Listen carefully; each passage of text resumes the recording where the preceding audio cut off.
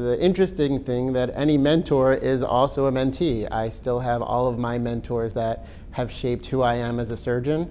And to this day, I still contact and meet with and to talk about my next steps. So you have to be able to understand what the future holds, always have, be able to listen and be able to take criticism and to allow you to formulate kind of your pathway based on your mentor's experience. So you have to be have all those qualities, and I think that's really important for a mentee.